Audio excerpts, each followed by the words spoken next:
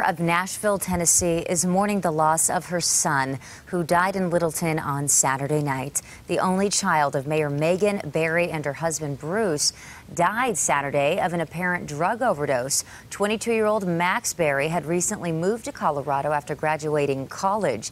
The family is now asking for privacy. In a statement, the family said in part, we cannot begin to describe the pain of losing our only child, and our son was a kind soul full of life and love for his family and friends.